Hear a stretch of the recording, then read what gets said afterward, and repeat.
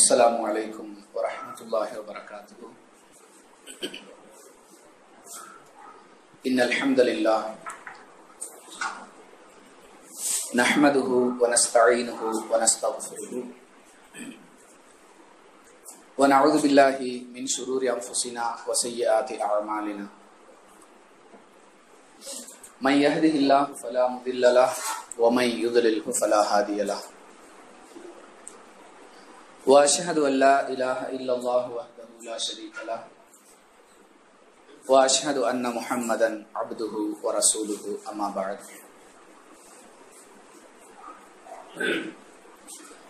பேரன்பிற்கும் பெரும் மதிப்பிற்கும் உரிய எல்லாம் வல்ல அல்லாஹ் ஜல்லஷானஹு தாலாவின் நல்லடியார்களே அல்லாஹுவின் பேரருளால் அவனுடைய மார்க்கத்தை அதன் தூய வடிவில் அறிந்து கொள்ள வேண்டும் என்பதற்காகவும் எதை நாம் அறிந்து கொண்டோமோ அதை மற்ற மக்களுக்கு எடுத்து சொல்லி சொன்ன நாமும் கேட்கின்ற அவர்களும் அதனுடைய அடிப்படையில் நம்முடைய செயல்பாடுகளை அமைத்துக் கொண்டு அதன் மூலம் மறுமையில் வெற்றி பெற வேண்டும் என்ற உன்னதமான ஒரு நோக்கத்தை உள்ளத்தில் சுமந்தவர்களாக நாம் இங்கே கூடியிருக்கிறோம். அன்பானவர்களே இப்படிப்பட்ட ஒரு வாய்ப்பை நமக்கு கொடுத்ததற்காக முதலில் நாம் அல்லாஹுவிற்கு நன்றி செலுத்த வேண்டும். ஏனென்று சொன்னால் இந்த ஞாயிற்றுக்கிழமை இதை அதிகமான மக்கள் பயனற்ற வகையில் கழித்து கொண்டிருக்கக்கூடிய ஒரு சூழல்.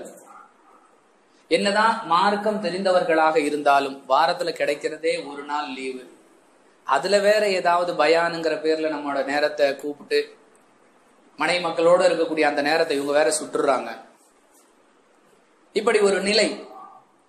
ஆனால் அப்படிப்பட்ட எந்த விதமான ஒரு சலனத்திற்கும் இடம் கொடுக்காமல் இதற்காக நேரம் ஒதுக்கக்கூடிய ஒரு வாய்ப்பை அல்ல நமக்கு தந்திருக்கிறான். நம்மை விட அறிவில் சிறந்த உடல் பலத்தில் மேம்பட்ட தோற்றத்தின் அழகில் சிறந்து நிற்கக்கூடிய எவ்வளவோ மக்கள் வெளியே இருக்கும் பொழுது அவனுடைய மார்க்கத்தை தெரிந்து கொள்ள வேண்டும் பிற மக்களுக்கு சொல்ல வேண்டும் அதற்குரிய முன்னேற்பாட்டு பணிகள் என்னென்ன என்பது தொடர்பான ஒரு கருத்து பரிமாற்ற நிகழ்வுக்காக அல்லாஹ் நம்மளை தேர்வு செஞ்சிருக்கிறான். இது அல்லாஹ் நமக்கு வழங்கி இருக்கக்கூடிய மிகப்பெரிய பாக்கியம். இப்படிப்பட்ட பாக்கியத்தை வழங்கியதற்காக நாம் எவ்வளவுதான் அல்லாஹுக்கு நன்றி செலுத்தினாலும் அது போதாது.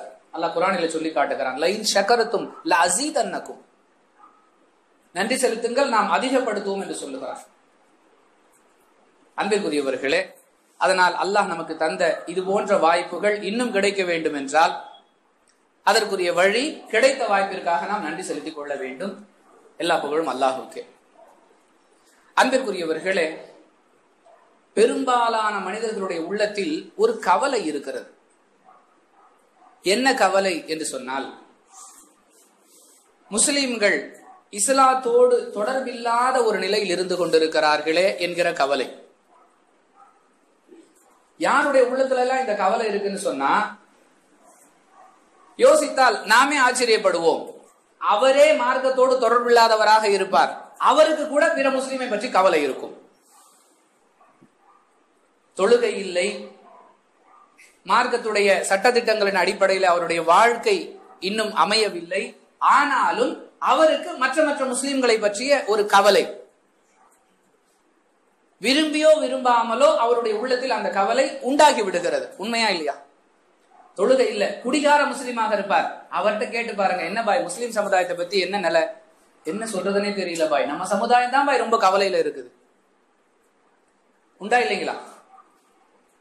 அன்பிற்குரியவர்களே நியாயமான கவலை அதை நம்ம தப்புன்னு சொல்ல முடியாது. இப்படிலாம் இவரே சரியில்லை இவன் கவலைப்படலாமா? அப்படிலாம் கேட்க முடியாது. சமுதாயத்தின் மீது உள்ள அக்கறை.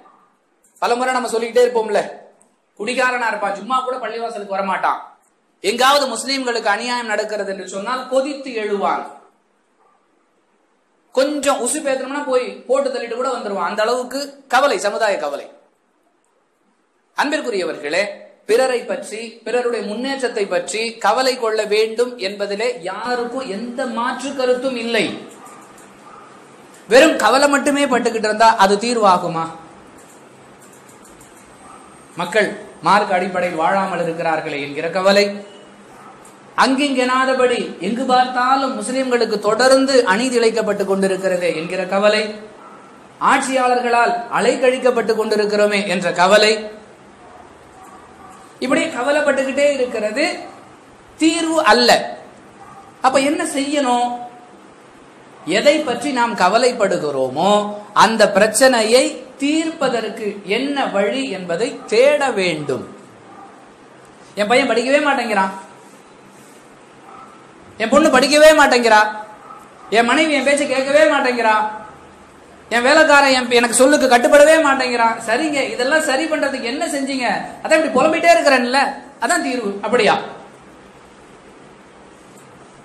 அன்பிற்குரியவர்களே கவலைப்படுவது எப்படி சரி என்று நாம் புரிந்து வைத்திருக்கிறோமோ? கவலைப்பட கூட எனக்கு அனுமதி இல்லையா? அப்படின்னு கேட்பா இப்படியே புலம்பிக்கிட்டே இருக்கிறியப்பா. ஏன் இது கவலைப்படுறது தப்பா? அப்படின்னு கேட்கிறோம்ல தப்பு இல்ல கவலைப்படுவது எப்படி சரியோ அதே போன்று எதை பற்றி நாம் கவலைப்படுகிறோமோ அதற்கான தீர்வை தேடுவது மிக மிக அவசிய தேவை. என்ன தீர்வு? அன்பிற்குரியவர்களே அல்லாஹுடைய வாக்குறுதி எதன் மீது இருக்கிறது? அல்லாஹ் இந்த தீர்வுக்காக சொல்லி தரக்கூடிய வழிகாட்டுதல் என்ன? அப்படிங்கிறத கொண்டுதான் நாம் இதற்கான தீர்வை தேட முடியும். நீங்களோ நானோ உலகத்திலே உள்ள ஒட்டுமொத்த அறிவாளிகளோ ஒன்று சேர்ந்து ஒரு திட்டத்தை தீட்டினாலும் சட்டத்தை வகுத்தாலும் அதை கொண்டு நிலையான தீர்வு ஏற்படுமா என்றால் தீர்வு ஏற்படும். அது நிலையான தீர்வா இருக்குமா? அந்த பிரச்சனையிலிருந்து உருவாகக்கூடிய இன்னொரு பிரச்சனை அதற்கு தீர்வை தேடி இன்னொரு முயற்சி. இப்படி போய்கிட்டே இருக்கும். ஆனால் எவன் நிலையான தீர்வை தருவானோ அந்த இறைவன் இந்த பிரச்சனைகளுக்கெல்லாம் என்ன தீர்வு சொல்லுகிறான்?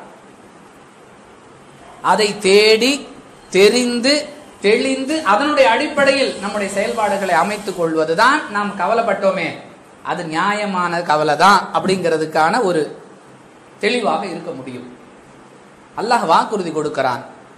கது அசுல்லஹல் முக்மினூன் ஒகதாலிக்க நுஞ்சில் முக்மினீன் ஒலா தஹினு ஒலா தஹசனு வ அன்துமுல் லாலவுன இன்குந்தும் முக்மினீன் வலில்லாஹில் இஸ்ஸத்து வலி ரசூலிஹி லில்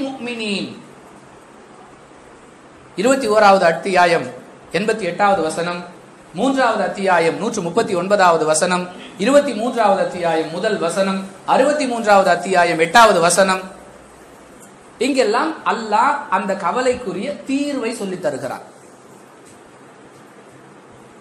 கது அஃபலஹல் முக்மினூன் இருபத்தி மூன்றாவது அத்தியாயத்துடைய முதல் வசனத்தில் அல்லாஹ் சொல்லுகிறான் முக்மீன்கள் வெற்றி பெற்று விட்டார்கள்.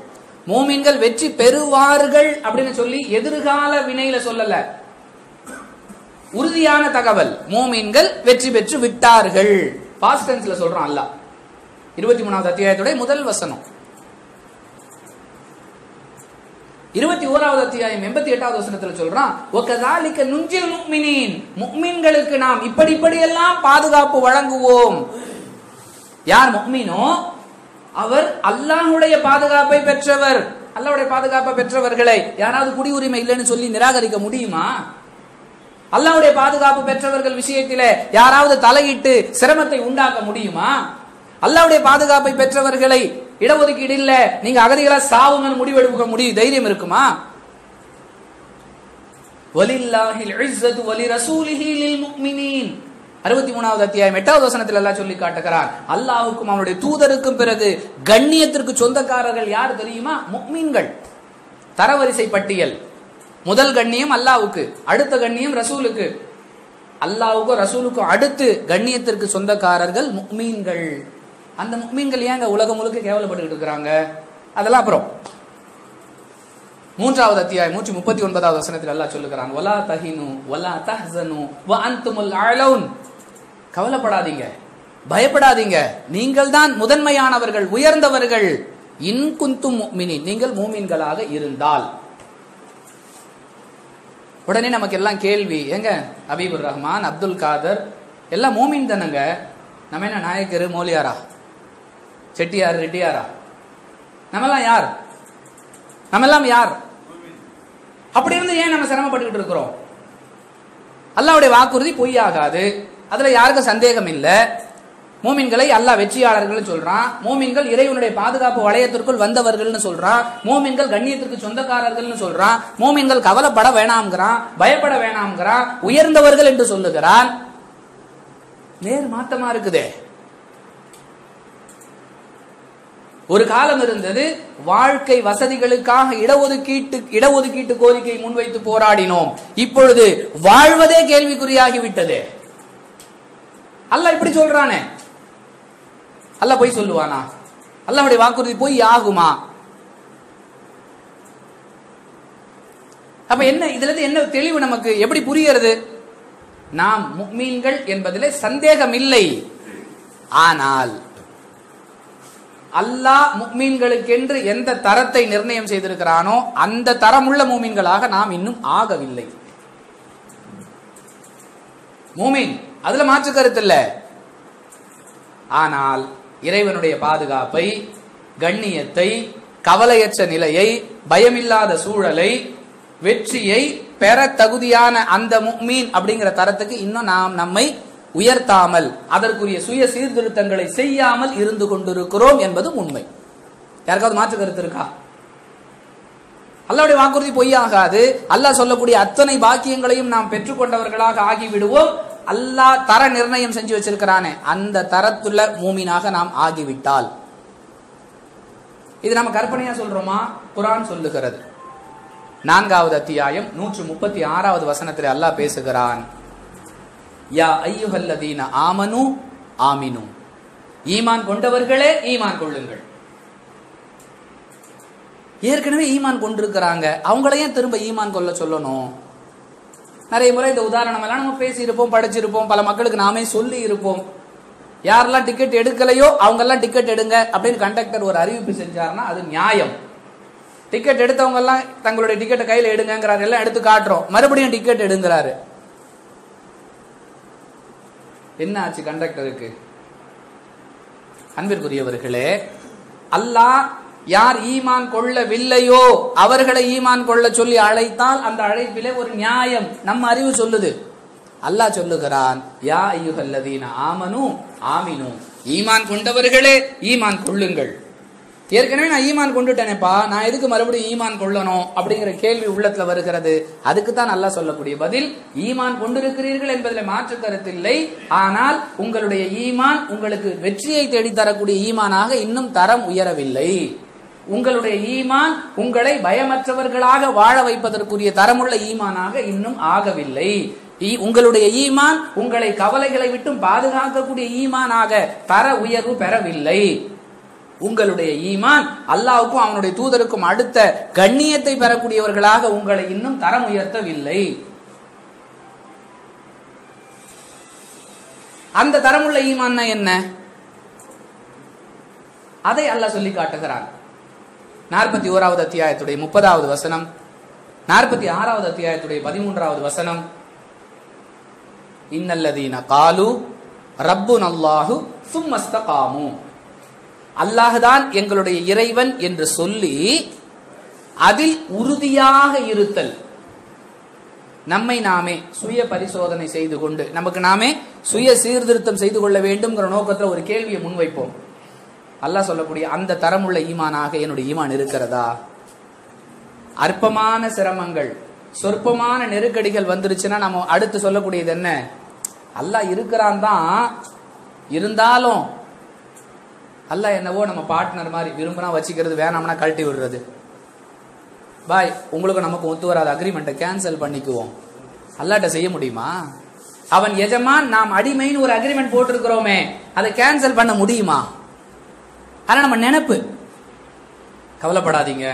நோயை கொடுத்தவன் அல்லாஹ் தான் அவன் தீர்வு தருவான். தீர்வு தருவான் இருந்தாலும் கவலைப்படாதீங்க. இந்த பொருளாதார நெருக்கடிங்கிறது அல்லாஹ்வுடைய பார்வைக்கு அப்பாற்பட்டது இல்லை அவன் நாடுனா இதுல இருந்து நம்மளை வெளியேற்றுவான். வெளியேற்றுவான் தான் இருந்தாலும். ஒரு இறை நம்பிக்கையாளனுடைய வாழ்க்கையில இருந்தாலும் ஆனாலும் இதுக்கெல்லாம் இடம் இருக்க கூடாது இடம் இருந்தா அவர் முக்மீனாக இருக்க முடியாது. வெறும் பயானுக்காக இல்லை சகோதரர்களை. பிராக்டிக்கலா யோசிச்சு பாருங்க. சும்மா செய்திக்காக ஏதோ சொல்லிட்டு போகணுங்கிறதல்ல. நம்முடைய அன்றாட நிலை. நாம் ரொம்ப நேசித்த நம்முடைய குழந்தை. நாம் ரொம்ப நேசித்த நம்முடைய மனைவி. நம்மை ரொம்ப நேசித்த நம்முடைய பெற்றோர்கள். நம்மை விட்டு பிரிந்து விட்டார்கள். அல்லாவுடைய ஏற்பாட்டின்படி. அந்த அல்லாவுக்கு இறக்கமே இல்லை. எத்தனை தௌஹீதுவாதிகளுடைய வாயிலிருந்து இந்த வார்த்தைகள்? அல்ல குரான்ல சொல்றான் அப்படின்னு நம்ம போய் சொல்லியிருப்போம் ஊர் ஊரா மக்கள்கிட்ட. ஒலி குல்லி உம்மத்தின் அஜல். ஒவ்வொருவருக்கும் ஒரு தவணை முடிவு செய்யப்பட்டிருக்கிறது. ஃபைதா ஜா லா யஸ்தக்திமூன சாஅத்தம் வலா யஸ்தஅகிரூன் இப்படிலாம் பயான் பேசியிருப்போம் மக்கள்கிட்ட தாவாலாம் செஞ்சிருப்போம். ஒவ்வொரு சமுதாயத்துக்கு ஒரு தர ஒரு தவணை கொடுக்கப்பட்டிருக்கிறது. அந்த தவணை வந்துருச்சுன்னா அவர்கள் முந்தவும் மாட்டார்கள் பிந்தவும் மாட்டார்கள். நான் சொன்னேனே எனக்கென்று ஒரு நெருக்கடி வரும் பொழுது இறைவனுடைய ஏற்பாடுங்கிறத நான் மறந்துடுற அளவுக்கு தான் என்னுடைய ஈமானுடைய தரம் இருக்கிறது. உண்மையா இல்லைங்களா? அல்லாஹ் சொல்றான் சும்மஸ்தகாமு. அதில் இஸ்திகாமத். அல்லாஹ் தான் என் இறைவன் சொல்றோமே சொல்வதோடு நிற்பதல்ல அதில் உறுதியாக இருத்தல். பெருமானா சல்லா அலிஸ்லன் சொல்றாங்க சுஃபியான் பின் அப்துல்லா ரதி அல்லாஹு அன்பு அறிவிக்கக்கூடிய செய்தியை பார்க்குறோம். ஒரு மனிதர் அல்லாஹுடைய தூதர் இடத்துல வந்து கேட்கிறார் யார சொல்லலாம் நான் என் வாழ்நாள்ல இதுக்கு பிறகு யாரிடத்திலுமே உபதேசமே கேட்கக்கூடாது அட்வைஸே கேட்கக்கூடாது. அப்படி ஒரு உபதேசத்தை எனக்கு செய்யுங்க. முஸ்லீம்ல அறுபத்தி ரெண்டாவது செய்தி. நீங்க எனக்கு ஒரு அட்வைஸ் கொடுக்கணும். எப்படிப்பட்டதா இருக்கணும் தெரியுமா? அதுக்கப்புறம் எனக்கு உபதேசத்துடைய தேவையை நான் யாரிடத்திலும் எதை பற்றியுமே கேட்கக்கூடாது. அப்படிப்பட்ட ஒரு அறிவுரையை ஒரு உபதேசத்தை எனக்கு சொல்லுங்கள். அல்லாஹுடைய தூதர் சொல்றாங்க உல் ஆமந்து பில்லாஹ். அல்லாஹுவை நம்பினேன் என்று சொல். சும்மஸ்தகிம். பிறகு அதில் உறுதியாக நில். ஆறரைக்கு ஆரம்பிச்சு ஏழு இருபதுக்கு முடிக்கிற டைம் பயானெல்லாம் ரசூல்லா செய்யவே இல்லை. அல்லாஹுவை நம்பினேன் என்று சொல் அதிலேயே உறுதியாக நில். என்ன எந்த எப்படிப்பட்ட உபதேசம்? வாழ்நாளில் இனி யாரிடமும் எந்த சந்தர்ப்பத்திலும் உபதேச தேவையற்றவனாக இருக்க வேண்டும் என்று கேட்டவருக்கு அல்லாவுடைய தூதர் செய்த உபதேசம். ஒருத்தர் இதுல கரெக்டா இருந்துட்டா அவனுக்கு வேற ஏதாவது அட்வைஸ் தேவை இருக்குதா? அல்லாவை நம்பினேன் என்று சொல்லிவிட்டாலே அந்த அல்லாஹுவால் அனுப்பப்பட்ட தூதரை நம்புதல் அவருடைய வழிகாட்டுதலை நம்புதல் அதை பின்பற்றுதல் அதனால் ஏற்படக்கூடிய சிரமங்களை சகித்தல் எல்லாம் வந்துருமா இல்லையா? அந்த தரத்துல நம்முடைய ஈமான் இருந்தால் நிச்சயமாக அல்லாஹ் கொடுக்கக்கூடிய அத்துணை வாக்குறுதிகளையும் நாம் பெற்றுக்கொள்வோம். இதுல சந்தேகமே இல்லை. இந்த நிலைக்கு நம்மை உயர்த்தக்கூடிய சுய சீர்திருத்தத்தை நாம ஒவ்வொருவருமே செய்ய வேண்டிய அவசியத்துல அவசியத்துல இருக்கிறோமா இல்லையா? இல்லைங்க நம்ம எல்லாம் பர்ஃபெக்ட்டுங்க அப்படின்னு சொன்னா அவங்களுக்கு தேவையில்லை. அப்படிலாம் இல்லைங்க நமக்கு தேவை இருக்குதுங்கன்னு சொன்னா அதுக்கான முயற்சியை செய்யணும். அன்பிற்குரியவர்களே சில மக்கள் கூடுகிறோம் ஏதோ விஷயங்களை பேசுகிறோம் கலைந்து விட்டோம் இது நம்முடைய நோக்கமாக இருக்கவே கூடாது. ஏதோ ஒரு மாற்றம். நேற்று இருந்ததை விட இன்று என்னுடைய வாழ்க்கையில் ஒரு முன்னேற்றம் மார்க்க ரீதியான முன்னேற்றம் மறுமைக்கான முன்னேற்றம். இன்று இருந்ததை விட நாளை என்னுடைய வாழ்க்கையில் ரொம்ப பெரிய பாரதூரமான வேணாம் சிறு சிறு முயற்சிகள். இதுதான் நாம் சுய சீர்திருத்தத்தை நோக்கி நம்மை நகர்த்தி செல்கிறோம் என்பதற்கான அடையாளம். அன்பிற்குரியவர்களே இன்னும் விளக்கமாக நாற்பத்தி ஒன்பதாவது அத்தியாயத்துடைய பதினைந்தாவது வசனத்தில் எல்லாம் சொல்லுகிறான் இன்னமல் முக்மினூ நல்லதீன ஆமனு மூமின்கள் யார் தெரியுமா? மூமின்னா என்ன? அவர் எப்படிப்பட்டவரா இருக்க இருந்தா அவர் முக்மின் ஆமினு பில்லாஹி வரசூலிஹி இன்னமல் முக்மினூன் அல்லதீன. மூமின்னா யாருன்னு தெரியுமா? அவருக்குரிய வரவிலக்கம் என்னன்னு தெரியுமா? நாற்பத்தி ஒன்பதாவது அத்தியாயத்துடைய பதினைந்தாவது வசனம். ஆமினு பில்லாஹி வரசூலிஹி ரசூலிஹி. அல்லாஹுவையும் அவனுடைய தூதரையும் நம்பக்கூடியவராக இருப்பார். இது நமக்கு தெரியும். அடுத்து அல்லாஹ் சொல்றான் சும்மலம் எருத்தாபு. அதில் சந்தேகம் கொள்ளாதவராக இருப்பார். நம்புறது மேட்டர் அல்ல. எதை நம்பினோமோ அதில் சந்தேகமே. அல்ல சொல்றபடிலாம் நடந்தா வெற்றி கிடைச்சிருமோ? கிடைச்சிரும் அப்படின்னு இருக்கணுமே தவிர கிடைக்குமோ? அதெல்லாம் இருக்கக்கூடாது. இதுதான் லம் எருத்தாப் சந்தேகம் கொள்ளாத நிலையில் உள்ள ஈமான். அந்த ஈமானுக்கு தான் அல்லாஹ் கொடுக்கக்கூடிய அந்த வாக்குறுதிகளை எல்லாம் பெறுவதற்கான தகுதி இருக்கிறதுங்கிறத குரான் நமக்கு சொல்லுகிறது. அப்போ உலக மக்களை எல்லாம் நிம்மதியுடன் வாழச் செய்ய வேண்டும் என்ற கவலை யாருக்கெல்லாம் இருக்கிறதோ அவர்கள் இதுதான் தீர்வுங்கிறத புரியணும். புரிந்து முதலில் கவலைப்படக்கூடிய நாம் இந்த தரத்துக்கு வரணும். வர்றோமா? அல்லாஹ் குரான்ல சொல்றான் வியப்பா இருக்கு. நம்ம நினைச்சிட்டு இருக்கோம் நிறைய மக்கள் தொழுகையாளி ஆயிட்டாங்க. பெரிய மாற்றங்கள்லாம் சமூகத்துல வந்துருச்சுன்னு ஒரு பக்கம் சந்தோஷப்பட்டு கொண்டு இருக்கிறோம் அல்லாஹ் குரான்ல சொல்லி காட்டுறான் மக்களில் அதிகமானவர்கள் இறைவனை நம்ப வேண்டிய விதத்தில் நம்பாதவர்களாக இருக்கிறார்கள். மக்களில் அதிகமானவர்கள் இறைவனுக்கு இணை வைக்கக்கூடியவர்களாக இருக்கிறார்கள். மனிதர்களில் அதிகமானவர்கள் நன்றி கெட்டவர்களாக இருக்கிறார்கள். மனிதர்களில் அதிகமானவர்கள் அறியாதவர்களாக இருக்கிறார்கள். மனிதர்களில் அதிகமானவர்கள் வெறும் ஊகத்தையே பின்பற்றக்கூடியவர்களாக இருக்கிறார்கள். மனிதர்களில் அதிகமானவர்கள் குற்றமிழைப்பவர்களாக இருக்கிறார்கள். மனிதர்களில் அதிகமானவர்கள் வரம்பு மீறக்கூடியவர்களாக இருக்கிறார்கள். குரான் நெடுக மனிதர்களில் அதிகமானவர்கள் வழிகெடுக்கக்கூடியவர்களாக இருக்கிறார். இதை தான் பார்க்க முடியுது அதிகமா. அப்போ அதிகமான மக்கள் இருக்கக்கூடிய பாதிப்பான நிலையை விட்டும் நன்னிலைக்கு அவர்களை மாற்றுவதற்கு தீர்வு அல்லாஹ் சொல்லக்கூடிய தீர்வு தான் மக்கள் நிறைய இப்படி நட்டத்தில் இருக்கிறாங்கன்னு கவலைப்படக்கூடிய நாம் முதலில் அந்த மாற்றங்களை நமக்குள் கொண்டு வர வேண்டும். இதுதான் பிரச்சனைகளுக்கு தீர்வு என்பதை அடுத்து மக்களுக்கு சொல்ல வேண்டிய பொறுப்பு நம்மகிட்ட இருக்கு.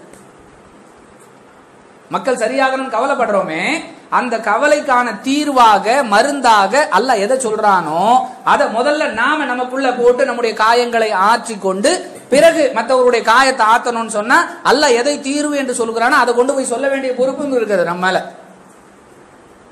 ஏன்னா பெருமானா சல்லல்லாஹு அலிசன் சொல்றாங்க புகாரியில மூவாயிரத்து நானூற்று ஐம்பத்தி ஐந்தாவது ஹதீஸ்.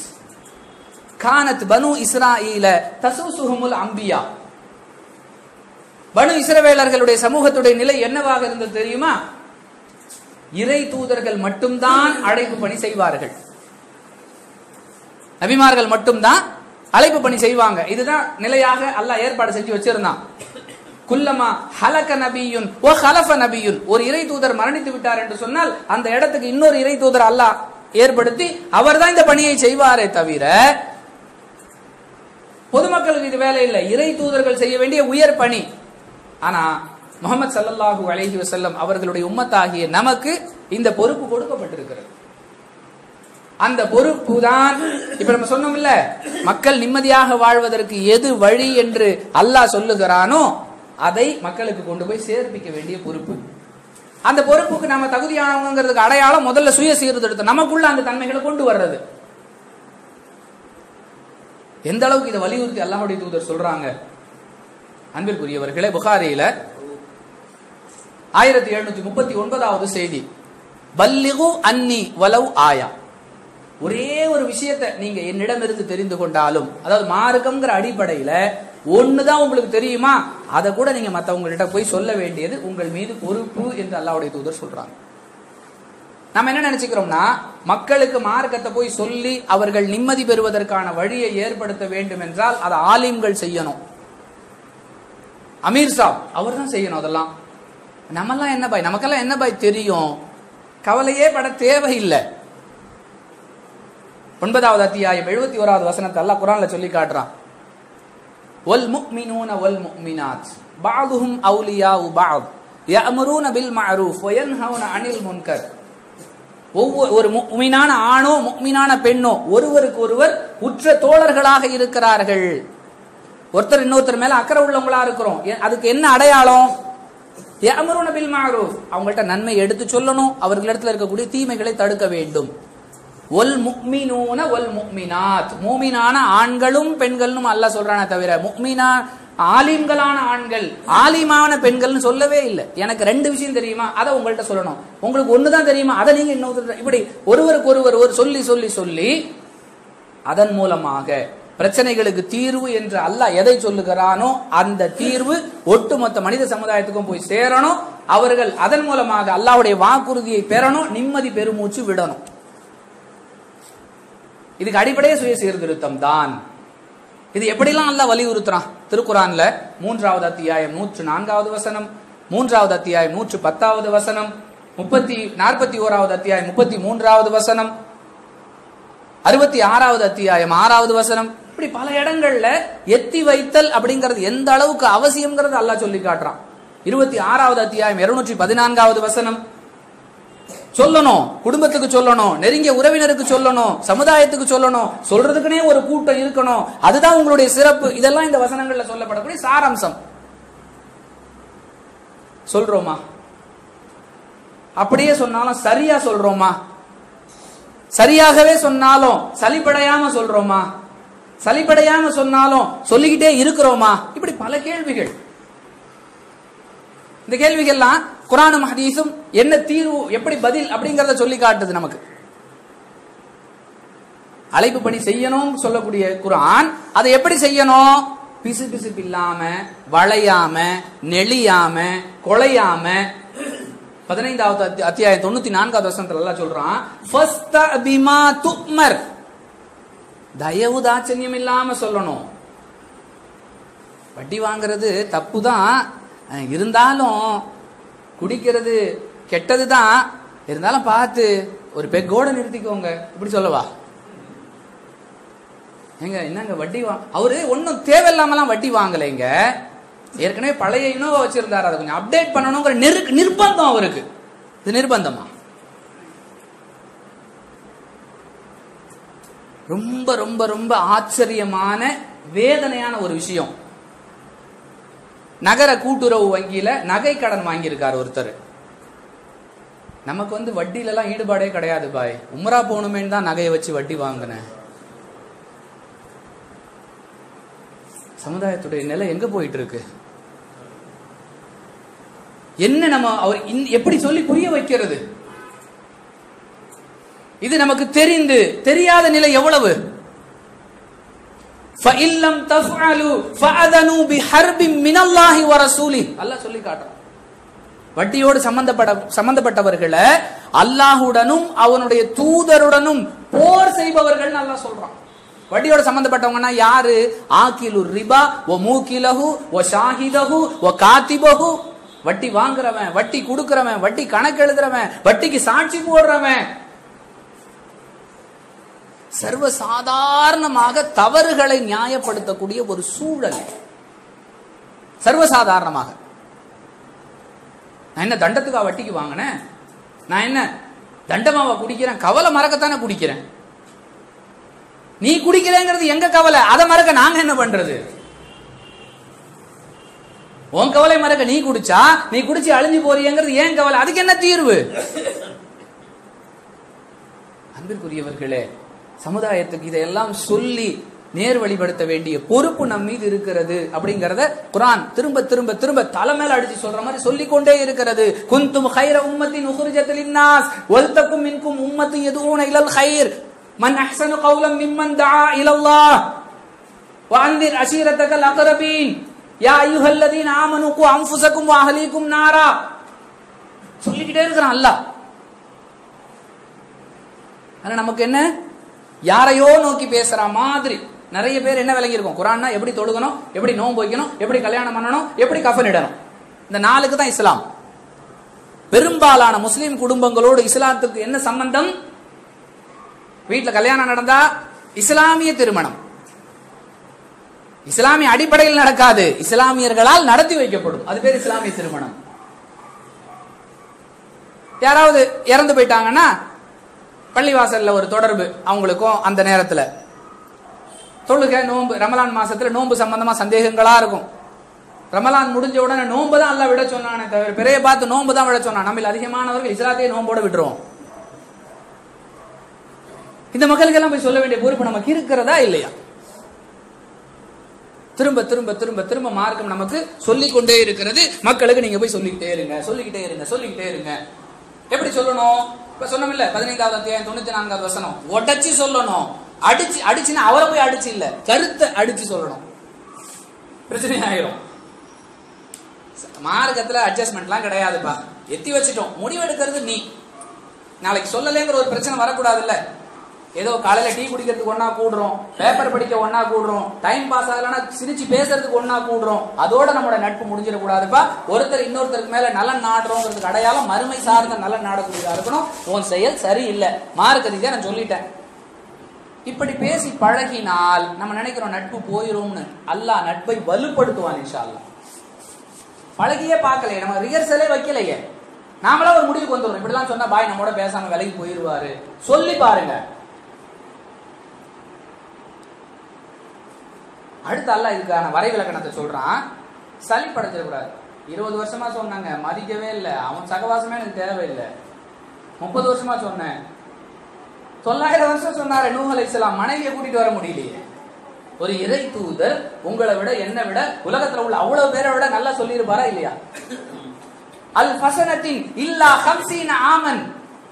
ஆயிரம் ஆண்டுகள் ஐம்பது ஆண்டுகள் தவிரங்கிறான் தொள்ளாயிரத்தி ஐம்பது வருஷத்துடைய தாவாவால் ஒரு இறை தூதரால் மனைவியையே கூட்டிட்டு வர முடியலைன்னா மார்க்கம் சொல்லுவது என்ன? இருபத்தி எட்டாவது அத்தியாயத்துடைய ஐம்பத்தி ஆறாவது வசனத்துல எல்லாம் சொல்லி காட்டுறான். இன்ன கலா தஹ்தி மன் அஹ்பப்த வலாக்கின் அல்லாஹ் யஹ்தி மன் சொல்றதுதான் உங்க வேலை. உள்ளத்தை புரட்டி நேர் வழி கூட்டிட்டு வர்றதுங்கிறது நம்ம பொறுப்புல உள்ளதுங்கிறத அல்ல அழகா சொல்லிட்டான்.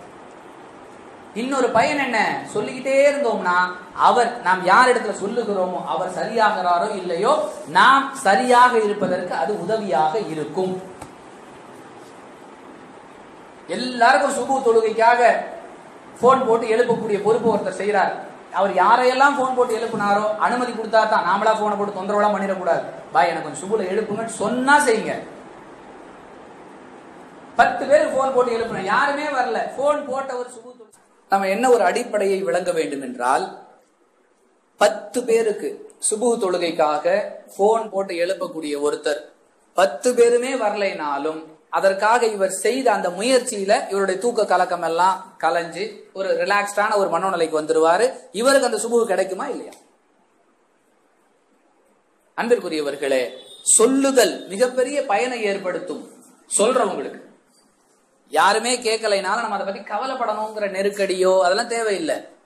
அல்லாவுடைய வாக்குறுதியும் அப்படித்தான் இருக்கிறது. இன்னகலா தஹதி மன்னஹ பக்த வலாக்கின் அல்லாஹ் யஹதி மையஷா அதனால நான் சொல்லி கேட்கலன்னு சளி படைஞ்சிடக்கூடாது முக்கியமா அழைப்பு பணி மக்களுக்கு எடுத்து சொல்லக்கூடிய பணியில உள்ளவங்க கவனத்துல வைக்க வேண்டியது உள்ளதை சொல்ல வேண்டும். உமக்கு ஏவப்பட்டதை தயவுதாச்சன்யம் இல்லாம சொல்லுங்க நல்லா சொல்றான் இல்லையா? அது முதல் இலக்கணம்.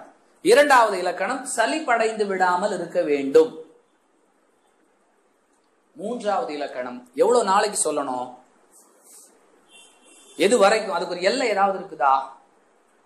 காலக்கெடு சில நிகழ்வுகளுக்கு சொல்லுவாங்க குடும்ப வாரம். அந்த ஒரு வாரம் வெறும் குடும்பவியல் தலைப்பா பயான் நடக்கிறது. மார்கழி மாசம் வந்துருச்சுன்னா மயிலாப்பூர் மியூசிக்கல் அகாடமியில இசை இசை விழா. மார்க்கம் சொல்றதுக்கு சீசன் ஏதாவது இருக்குதா? பருவ காலம் எக்ஸ்பைரி இன்னைக்கு காலையில தான் ஒரு ஒரு ஒரு உணவுப் பொருள். சும்மா ஒரு பரிசோதனைக்காக உற்பத்தி செய்யப்பட்டது ரெண்டாயிரத்தி பத்தொன்பது ஜூன். உற்பத்தி தேதியிலிருந்து ஒரு ஆண்டுகள் வரை பயன்படுத்தி கொள்ளலாம். அதுக்கு மேல பயன்படுத்தினா பயன்படுத்துறவங்கள பயன்படுத்த முடியாது. இல்லையா? அதை பயன்படுத்தினவங்க பயன்பட மாட்டோம்.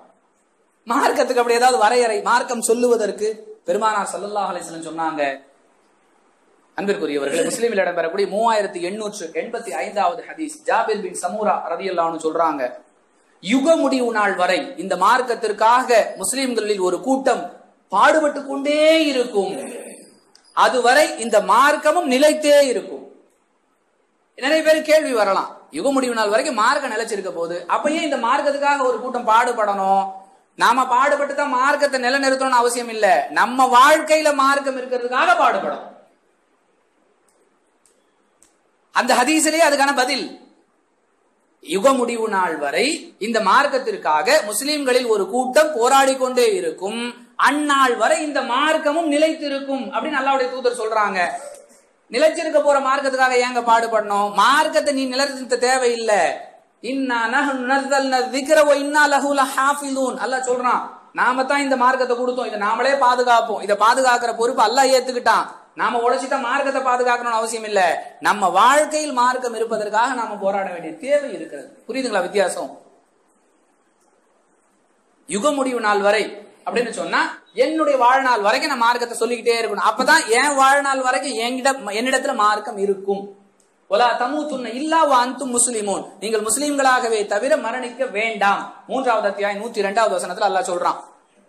நபி இப்ராஹிம் அலைஹிஸ்ஸலாம் நபி யாக்கூப் அலைஹிஸ்ஸலாம் தன்னுடைய பிள்ளைகளுக்கு என்ன உபதேசம் செஞ்சாங்க? அம் குந்தும் ஷுஹதா இது ஹதர் யாக்கூப் அல் மௌத். இது காலலி பனீஹி லா தஅபுதூன மின் பஅதி. தன்னுடைய மரண தருவாயில யாக்கூப் அலைஹிஸ்ஸலாம் தன்னுடைய மகளுங்க பிள்ளைகளுக்கு சொன்னது என்ன? நீங்க என்ன எதுல இருப்பீங்கப்பா? உங்களுடைய இருப்பு எதுல இருக்கும்? அவங்க பிள்ளைங்க சொல்றான் காலு நாபுது இலாஹக்க ஓ இலாஹ ஆபாயிக்க ஓ இப்ராஹீம ஓ இஸ்மாயில ஓ இஸ்ஹாக இலாஹம் வாஹிதா. எந்த ஒரு இறைவனை நீங்களும் உங்கள் முன்னோர்களாகிய இப்ராஹிம் அலைசலாம் அவர்களும் இஸ்மாயில் அலைசலாம் அவர்களும் இஸ்ஹாக் அலைசலாம் அவர்களும் எந்த ஒரு இறைவனை வணங்குனீங்களோ அந்த இறைவனை தான் நாங்க வணங்குவோம். ஓ நஹ்னு லஹு முஸ்லிமும் நாங்க முஸ்லிம்களா தான் இருப்போம். இந்த வாக்குறுதி இறை தூதர்கள் தங்களுடைய மரண தருவாயில கூட தங்க பிள்ளைகள்கிட்ட வாங்கினாங்களே. அந்த மரணம் வரைக்கும் நாம் இஸ்லாத்தில் இருக்க வேண்டும் என்றால் அதற்காக நாம் பாடுபட்டு கொண்டே இருக்க வேண்டும். அதை தான் இந்த ஹதி சொல்லுது. நாம பாடுபட்டு தான் மார்க்கத்தை நிலைநிறுத்தணும் அவசியம் இல்லை. இறை மார்க்கம். இதை அவன் பாதுகாத்துருவான். அடுத்து என்ன கேள்வி? எவ்வளோ சொல்றோம். மக்கள்கிட்ட போய் மேட்ரு சேர்ற மாதிரியே தெரியலையே. இன்னும் ஜும்மாவுக்கு அதே எட்டு பேர். அதே அஞ்சு பேர் அதே தெருமுனை கூட்டத்துக்கு அதே பத்து பேர் பெண்கள் பயான்ல அதே முப்பது பேர். அன்பிற்குரியவர்களே ஒரு நோய் வைத்தியம் செய்தும் குணம் அடையவில்லை என்றால் யோசிக்கணும் நாம இந்த நோய்க்கான வைத்தியத்தை தான் செய்கிறோமா ரூட் கரெக்டா இருக்குதா? சரியான தடத்துல தான் இந்த சிகிச்சை போய் கொண்டு இருக்கிறதா அதை பார்க்கணுமா இல்லையா? மூணு மாசமா மருந்து திங்கிறேன். ஒரே ஒரு மாற்றம் கூட ஏற்படல. அப்ப என்ன? நீ அதுக்குரிய மருந்து சாப்பிடுறியா? அப்படிங்கறத சோதிக்கணுமா இல்லையா? நான் தாவா செய்யறேன் யாருக்குமே மாற்றம் வர மாட்டேங்குதே உடனே யோசிக்கணும். சொல்லக்கூடிய என்னிடத்தில் ஏதாவது குறை இருக்கிறதா? நான் சொல்ற செய்தி சரியாக இருந்தும் அது ஏன் மக்கள்கிட்ட பிரதிபலிப்பை ஏற்படுத்தல? அதை பார்க்கணும். என்னிடத்துல ஏதோ குறை இருக்குது. அதனால தான் என்னுடைய சொல்ல மக்கள் நம்ம சொல்றது உன் சத்தியமாக இருந்தாலும் மக்கள் பாக்குறாங்க ஆ பெருசா பயன் பண்ணவன்டான் இவன் சரியா இருக்கிறானா முதல்ல. இப்படி சொன்னா நாங்க எவ்வளவு வருஷமா தௌஹீதுல இருக்கிறோம்? எங்கள்கிட்ட தப்பு வருமா? அப்படி சில கேள்வி நமக்குள்ளேயே வருது. அல்லாஹ் குரான்ல சொல்றான் ஐந்தாவது அத்தியாயம் நூற்று ஐந்தாவது வசனத்துல சொல்றான் அலைக்கும் அம்புசக்கும். முதல்ல உங்களை நீ பாதுகாத்துக்க. உன்னை சரி பண்ணு முதல்ல. ரெண்டாவது அத்தியாயம் நாற்பத்தி நாலாவது வசனத்துல சொல்றான்